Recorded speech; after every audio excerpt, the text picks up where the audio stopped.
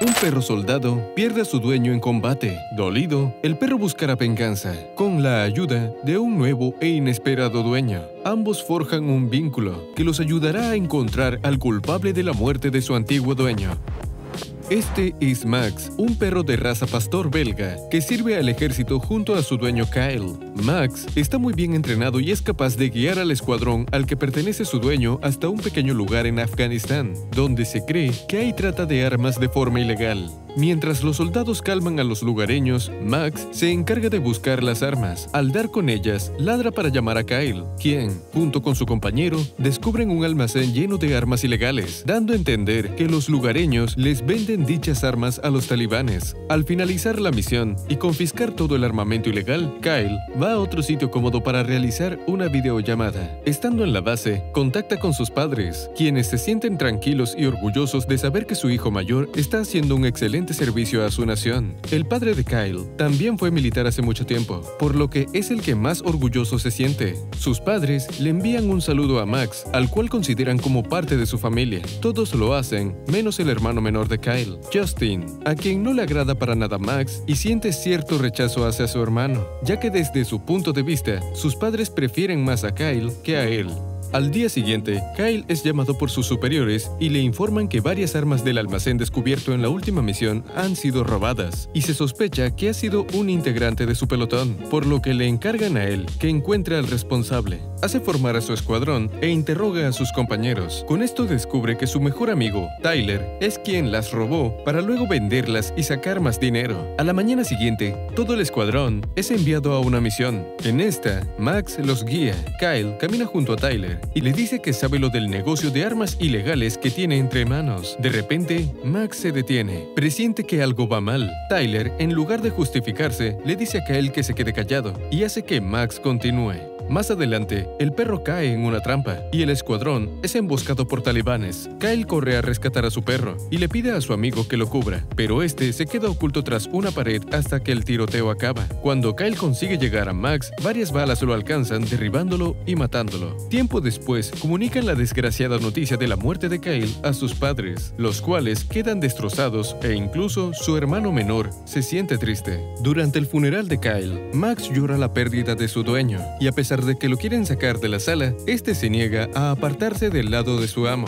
El perro se acerca a Justin y se calma, ya que su olor es similar al de Kyle. El adiestrador que cuida a Max ve esto y tiene la corazonada de que el perro lo reconoce. En casa, el ambiente es tenso, y Justin no puede evitar entrar a la habitación de su hermano, ya que lo extraña. Mientras mira sus pertenencias, su padre entra a la habitación también. Trata de reconfortarlo, pero Justin lo culpa por la muerte de su hermano y tienen una acalorada discusión. Pero rápidamente se termina cuando entra la madre para regañarlos y les notifica que Max, debido a que no tiene dueño, será sacrificado. Inmediatamente, todos van al refugio canino a por Max. Uno de los adiestradores le dice que la muerte de Kyle traumatizó al perro, ya que lo ha vuelto un perro violento. Sin embargo, cuando Justin se acerca, es todo lo contrario, y Max se porta amigable con él. Para que no lo sacrifiquen, deciden adoptar al perro. Pero cuando están en casa, Max se comporta mal y no hace caso. El padre sugiere que no es buena idea tenerlo adentro de la casa, ya que el perro es inestable,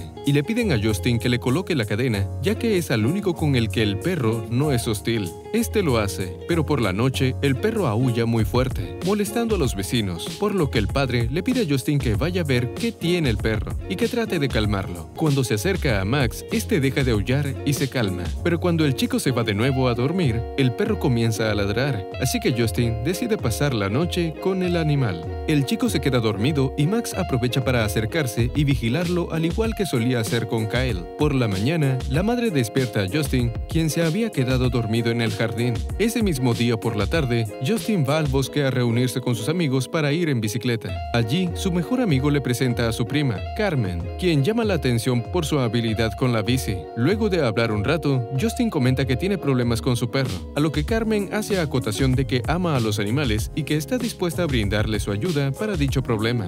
Justin acepta y más tarde se arregla de varias maneras para recibirla. Claramente se nota que a Justin le gusta esta chica. Ella le da varios trucos para que el perro siga sus órdenes y este no cause tantos problemas. Al rato, la madre de Justin invita a los chicos a cenar. En plena comida, ella saca a relucir el tema de la muerte del hermano de Justin y explica que Max originalmente era de él. Este tema pone incómodos a todos. A todo esto, el nuevo miembro de la familia comienza a ladrar fuerte y de repente alguien toca la puerta. Es Tyler, quien llega con flores y sus condolencias para la familia. Es invitado a pasar, ya que era el mejor amigo de Kyle pero al padre le sorprende verlo, ya que él todavía debería seguir en servicio en Afganistán, a lo que él responde que fue herido en batalla y lo enviaron a casa para que se recuperara. Max ladra fuerte al ver que Tyler está allí, ladra con furia, a tal punto que rompe la cadena y se apresura a atacar al soldado. Justin y Carmen logran detenerlo antes de que le haga daño. En este momento se dan cuenta que el perro recuerda a Tyler y le tiene odio porque sabe que es el culpable de la muerte de su dueño. Al día siguiente, Justin va al bosque a encontrarse con con sus amigos y lleva a su mascota consigo. Ambos pasan un rato agradable.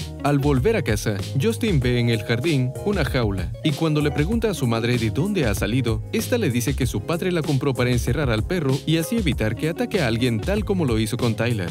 Días después, las personas de la ciudad celebran el 4 de julio. La familia lo celebra y pasan un rato agradable. Por la noche, lanzan fuegos artificiales. A pesar de ser un momento alegre, Justin no para de pensar en su nuevo amigo y en cómo lo estará pasando, así que decide ir a casa. Al llegar, ve que Max está ajetreado y asustado por los fuegos artificiales, ya que le recuerdan a la guerra. Trata de meterlo en casa, pero el perro tiene tanto miedo que no puede moverse, por lo que el chico decide meterse con él en la jaula y juntos se dan protección. A la mañana siguiente, Tyler le pide al padre de Justin, Ray, una oportunidad para trabajar con él y en su empresa de depósitos. Este acepta alegremente la propuesta, pero no sin antes preguntarle acerca de la muerte de su hijo. Tyler, asustado, le echa la culpa al perro diciendo que este desobedeció a Kyle y que fue la razón de que este muriera. Esta mentira consigue que Ray se ponga muy triste, así que por la noche va a donde está Max y saca su pistola para apuntarle. Cuando está a punto de apretar el gatillo, aparece su hijo menor y lo hace desistir de lo que iba a hacer. Al día siguiente,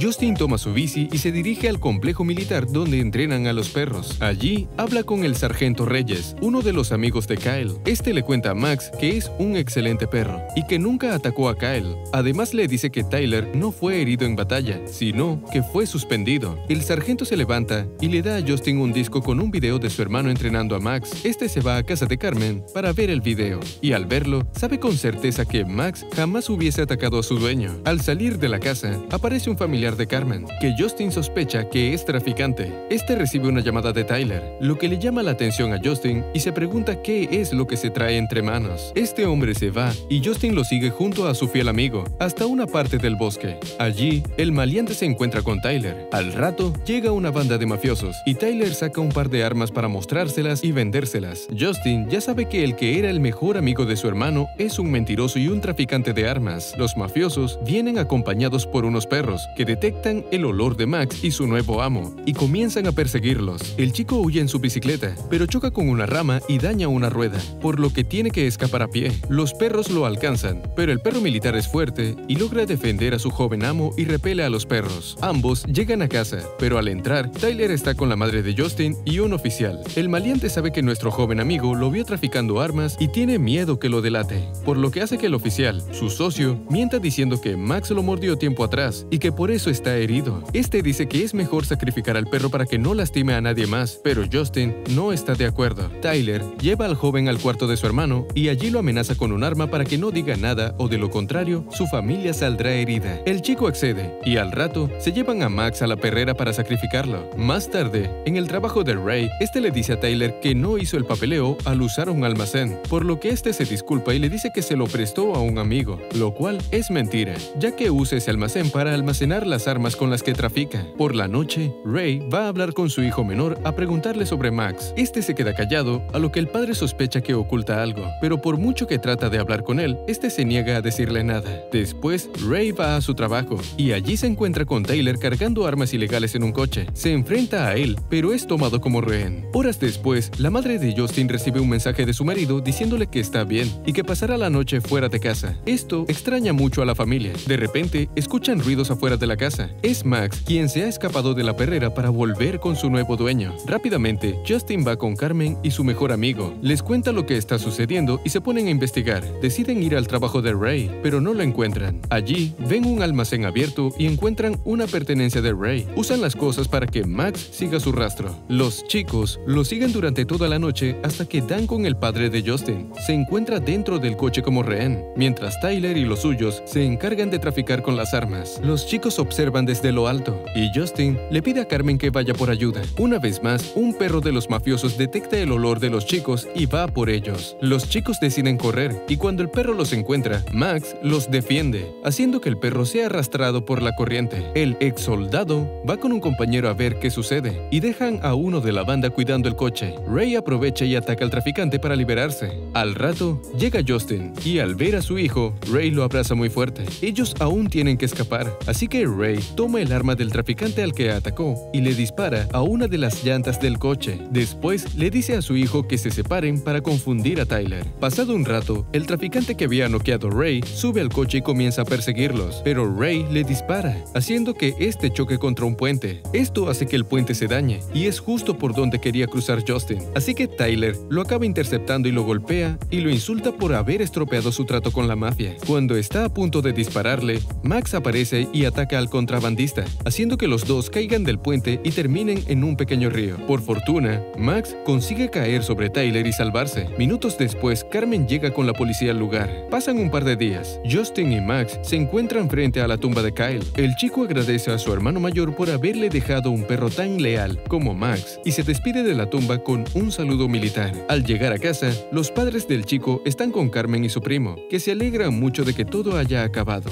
Justin y Carmen empiezan a salir juntos, y cuando el chico pregunta a su padre por la jaula que estaba en el jardín, este le responde que ya no será necesaria, pues ahora Max es parte de la familia.